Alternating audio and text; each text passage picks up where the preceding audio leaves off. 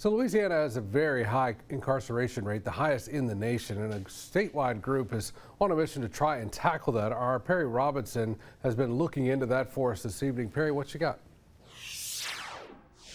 Hey Greg, advocates are campaigning for more change in the coming months to help reduce our state's prison population. And that's why they are calling on more lawmakers to join them to address the issue. It's no secret crime remains a big problem in Louisiana.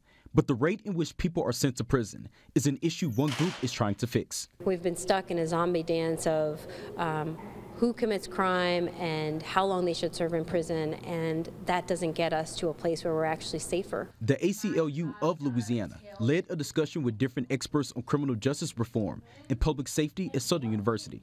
Leaders say the state has the nation's highest incarceration rate, and despite help from the historic 2017 Justice Reinvestment Package to reduce our prison population, they say more work must be done. We know that there has been an increase in crime and we're not shying away from that. But what we want individuals to know is that there's a way that we can increase public safety without having to resort to criminalization and mass incarceration. Alanah Odoms is the executive director of the ACLU. She would like to see lawmakers step up during this session and come up with more laws to address mass incarceration. One thing she is pushing for the state to change is the mandatory minimum amount of jail time attached to certain crimes. I'd like to see a policy implemented that eliminates the amount of offenses that mandatory minimums are eligible for. I want to give some of that discretion back to judges to be able to make decisions based on all of the facts and circumstances that are presented to them. Odom says change cannot happen without more support, and that's what her team and others are hoping to gain. We understand through policies we,